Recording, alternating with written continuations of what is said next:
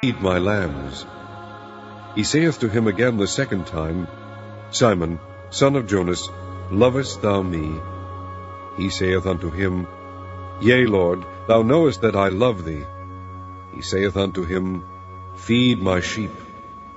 He saith unto him the third time, Simon, son of Jonas, lovest thou me? Peter was grieved because he said unto him the third time, Lovest thou me? And he said unto him, Lord, thou knowest all things, thou knowest that I love thee. Jesus saith unto him, Feed my sheep. Hello, everybody out there. Uh, coming to you today to make another video. And um, like I said before, I like to re-research stuff.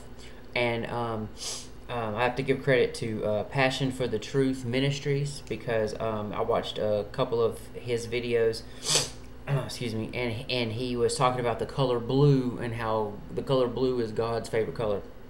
So I was kind of you know going through his teaching about that, and I um, noticed some things, and um, I, I, put my own re-research on it, you know, and what I kind of got from it from the spirit of of what what he taught, but also like more what what um, I kind of got from it. So I want to um, share that. So um, first, basically, what it is is blue is God's covenant covering color. That's what I call it. God's covenant covering color. It always has something to do with uh, covenant and God covering us um, in some way. All right, and um, and a protection. It's like His covenant coloring protection of us. And so first, let's look at um, Genesis nine with Noah and um, all that. And God said, This is the token of the covenant which I make between me and you and every living creature that is with you for perpetual generations. I do set my bow in the cloud and it shall be for a token of a covenant between me and the earth. And it shall come to pass when I bring a cloud over the earth, that the bow shall be seen in the cloud. And I will remember my covenant which is between me and you and every living creature of all flesh. And the waters shall no more become a flood to destroy all flesh. And the bow shall be in the cloud, and I will look upon it that I may remember the everlasting covenant between God and every living creature of all flesh that is upon the earth. And God. Okay, so you see there, what, what do we have there? We have an ark, okay, we have a, a, a blue sky, um, and we have a the rainbow, and we have a, a, covenant that God made for, for protection, right? And um, we understand that the sky wasn't necessarily, I mean, I'm sure it was blue the whole time, but it looked different because there was uh, like layers of water in the sky, you know, because that was part of the flood was the waters came up from the earth, but also they came down, you know. Um, um, so, uh, you know, the, the sky was a bit different in, in from Adam's time to Noah's time. So you have this blue sky now covering um, Noah and his family, and you have um, the, the covenant rainbow, and you have an ark. Okay, so that's one instance of it. Okay, now we're going to look at um, Numbers 4 1 through 7. Numbers chapter 4. And the Lord spake unto Moses and unto Aaron, saying, Take the sum of the sons of Kohath from among the sons of Levi, after their families by the house of their fathers from thirty years old and upward, even until fifty years old, all that enter into the host, to do the work in the tabernacle of the congregation. This shall be the service of the sons of Kohath in the tabernacle of the congregation, about the most holy things. And when the camp setteth forward, Aaron shall come and his sons, and they shall take down the covering veil, and cover the ark of testimony with it and shall put thereon the covering of badger skins, and shall spread over it a cloth wholly of blue, and shall put in the staves thereof. Okay, so what do we have there? We have uh, holy things, you know, and remember Noah was righteous in his generations, so it's it's it's uh, the the his people, God's people, you know, were were a holy thing to him, you know, and um, we have an ark of the testimony, ark of the covenant, and um, you have a blue covering of it. So they covered the ark whenever they would travel, whenever they would move from place to place. They took it and they covered um, the ark and a couple of other things, but but but this blue thing is what mainly covered it. You see that? So it's a blue covering of it, and you've got the ark, and you've uh, okay. See that? Okay, so that's pretty interesting right there. Um, now let's look at. Uh, Revelations, um, Revelations 12, uh, 11 says, And they overcame him by the, by the blood of the Lamb and by the word of their testimony, um, and they um, loved not their lives unto the death. Okay, so do you notice that? What else is blue that covers the sky, the blue sky, right? So it covers all of us now. It's there to, God could have made the sky any color. He could have made it purple. He could have made it, you know, green. He could have made it, you know, red. He could have made it any color he wanted to, but he chose to make it blue. And if you read through the Bible and if you watch um, Passion for the Truth Ministries, he goes into it more deeply, showing you all the things that are blue, that, that represent blue and how it, you know, relates but I just want to show um, uh, these couple of things about the, the blue sky and the covering of it and um, how it deals with uh, the the ark okay and our testimonies the ark of the testimonies um, and let's see um, so blue uh, uh well let me read this revelations 11 19 and the temple of god was opened in heaven and there was seen in his temple the ark of his testimony and there were uh, lightnings, voices, thunderings, quake, and okay, what is this ark of his testimony? It's Jesus. This is speaking of Jesus. Okay, we're going to look at that in a minute um, because I, I hope everybody knows that Jesus is our ark. You know, He is our ark. He got us. He He brought us over. You know, through the, the the flood and the destruction of our lives. He is gives us victory in war, like the ark of the covenant, ark of the testimony did. You see, so um, Jesus is is our ark. Um, um, okay, so blue is God's royal color. Um, uh, purple is man's royal color. Okay, and we're going to look at this here in um, Mark. Mark 15. Pilate answered and said again unto them, What will ye then that I shall do unto him whom ye call the King of the Jews? And they cried out again, Crucify him! Crucify! Then Pilate said unto them, Why? What evil hath he done? And they cried out the more exceedingly. Willing to content the people, released Barabbas unto them, and delivered Jesus when he had scourged him to be crucified. And the soldiers led him away into the hall called Praetorium, and they called together the whole band. And they clothed him with purple, and platted a crown of thorns, and put it about his head, and began to salute him. King of the Jews!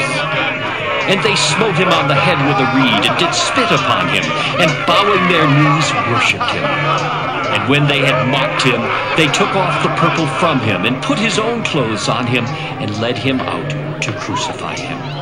Okay, so you see there they put a robe of purple on him and a crown of thorns, right? Now they put this this purple color on him, symbolizing you know that he was a king, right? An earthly king of the Jews, because that's what they're making fun of. They're like, ha ha ha, you know, uh, he he he's not ruling anything here for men, you know, and because they didn't see it, but you see how they're putting that purple color on him to symbolize a, a, an earthly ruling kingdom. But he wasn't here to, to do that earthly ruling kingdom. He was to do a, a bigger, you know, a blue roiling, roiling kingdom and, and victory. You see? Um, so that, that, I think that was very interesting that they would put that color on him, you know? Um, and okay, so um,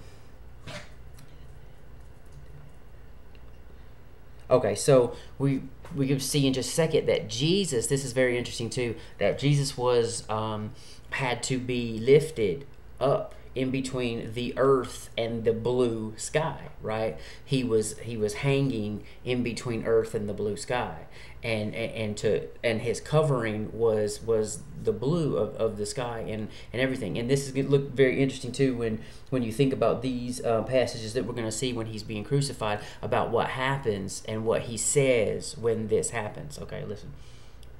When the blue sky goes away listen what he says. And they compel one Simon, a Cyrenian, who passed by, coming out of the country, the father of Alexander and Rufus, to bear his cross. And they bring him unto the place Golgotha, which is being interpreted the place of a skull.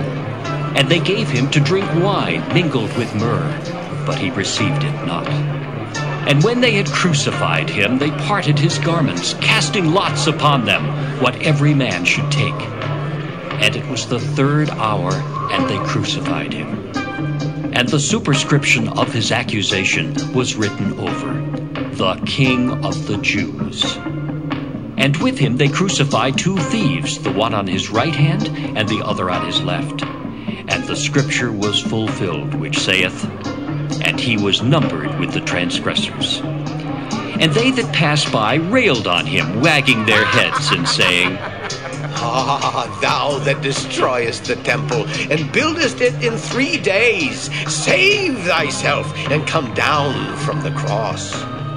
Likewise also the chief priests, mocking, said among themselves with the scribes, He saved others, himself he cannot save. Let Christ, the King of Israel, descend now from the cross, that we may see and believe. And they that were crucified with him reviled him. And when the sixth hour was come, there was darkness over the whole land until the ninth hour. And at the ninth hour Jesus cried with a loud voice, saying, Eloi, Eloi, Lama Sabachthani. which is being interpreted, My God, my God, why hast thou forsaken me? and some of Okay, so you see how it turned to darkness, and some of the other ones they talk about, uh, the other gospels talk about an earthquake and all that. See, but the sky turns to darkness instead of the blue covenant covering over Christ, and that's when he automatically is like the um, God's, you know, covering over him. God's protection over him is gone at that instance. There's nothing but darkness and you know and that's when it most likely this is the time when he is being you know um, all the sin is coming on to him you know and, and darkness and everything that that that all the bad stuff that we do and satan and everything else is coming on to him. And do you notice that though? That the darkness when it comes over him the blue covering covenant is gone. So we take for granted every jesus knew it but we take for granted every day that this covering that's over us that's protecting us.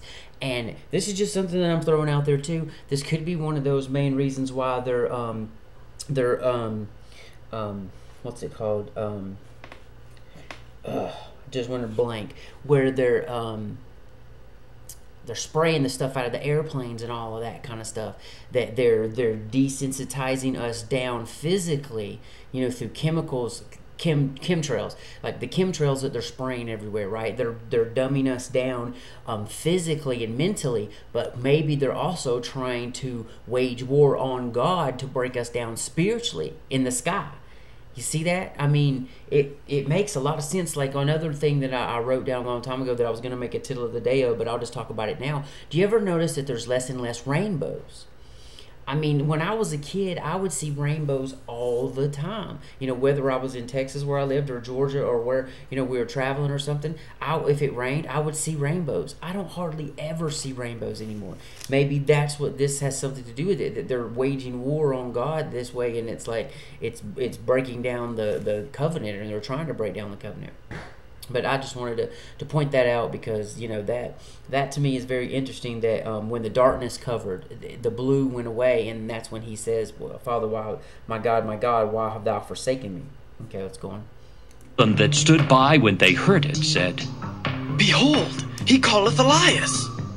And one ran and filled a sponge full of vinegar, and put it on a reed, and gave him to drink, saying, Let alone. Let us see whether Elias will come to take him down. And Jesus cried with a loud voice and gave up the ghost.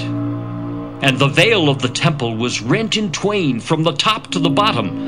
And when the centurion which stood over against him saw that he so cried out and gave up the ghost, he said, Truly, this man was the Son of God. There were also women looking on afar off, among whom was Mary Magdalene, and Mary the mother of James the Less, and of Joses, and Salome, who also, when he was in Galilee, followed him, and ministered unto him, and many other women which came up with him unto Jerusalem.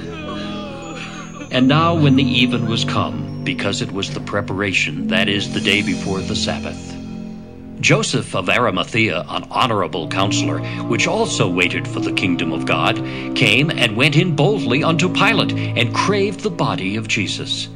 And Pilate marveled if he were already dead. And calling unto him the centurion, he asked him whether he had been any while dead. And when he knew it of the centurion, he gave the body to Joseph. And he bought fine linen, and took him down, and wrapped him in the linen, and laid him in a sepulchre which was hewn out of a rock, and rolled a stone unto the door of the sepulchre. And Mary Magdalene and Mary the mother of Joses beheld where he was laid. Okay, so he's there and he's hanging between heaven, our heaven, the blue sky, but also, you know, even the second heaven and third heaven where God is. Um, but he's also in between the earth. Okay, now it's interesting that here in um, 1 Corinthians 15 uh, 47, it says, The first man is of the earth, earthy. The second man is the, the Lord from heaven. Okay? So you have though for those characteristics there. That's why he had to hang in between them, right? Because he was man and God. He was he was, and we're to see 1 Corinthians 15, 48 through 49. Um, as is the earth, such are they also that are earth that are earthy. Um, and as is the heavenly, such are they also that are heavenly. He's both, so he had to hang in between there to to bring it all down. You know, to to crack the matrix to to break us out of the cube you know to get us out of time. You know he was outside of time you know because jesus is god so he's outside of time. He can move in and out. That's why like um like in exodus 34 19 you know um those who come out of the matrix are mine god says. Okay so he that's how he gets us out of this you know? And a lot of people were talking about that you know on the internet now and on youtube about you know saturn and the cube and all that. Well it's not really anything to worry about because the cross jesus took can takes us out of it you know? I mean we we are free from it already. Even though we're still trapped in the in this dimension of time we know eventually we're going to crack out of time and that's part of our blessed hope. Okay, and then verse 49 says, And as we were um, bore the image of the earthly, we also uh, we shall also bear the image of the heavenly. See, that's what I'm talking about. Like we're gonna get out of the cube, out of the matrix, out of the power of Saturn, out of the power of Satan, out of the world, right? Because like I said all the time, John 15, it says that the world loves his own Okay, so we have to break out of, of the world, and that's what Jesus did for us. He made us heavenly as He is heavenly, and that's why Jesus um, had to hang in between heaven and earth. Okay, so that's my um, um, spin on it, I guess you could say. Um, my take on the um, the blue thing, because that's what came to me when I was listening to his teaching and everything, and I was like, man, um, it's interesting that Jesus, you know, was in between this covenant, you know, with his father, Abba Father, and, and us. Um, okay, well, that's what I have for you today. Um, Wake and Watch for Yeshua, and um, um, listen to his teaching because it's really good. I mean, he goes into a lot of different things about how one of the things that was very interesting to me is I tell people all the time that we are like the um, um, we this we are the like the new Roman Empire, and one of the things, and I showed all the char- the different things that like they were obsessed with chariot racing. A lot of people are obsessed with NASCAR. They were obsessed with gladiator fights and stuff like that. We're obsessed with like UFC and wrestling and things.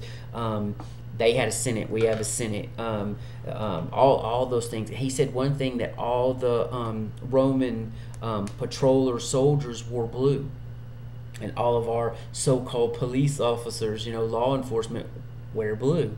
And so I was like, man, that's kind of crazy that you know that all that's a comparison. But he also said it's because it's God's color and it's it's a servant color. It's a it's it's to represent you know because God Jesus is the ultimate you know servant for for all of us you know and we are His servants and and that's kind of why. But um, why would they choose that color? Because they um, they weren't like followers of of God, you know. So it's pretty interesting. But um, yeah, check check his videos out and um, wake and watch for Yeshua. God is love, and I love God. Amen.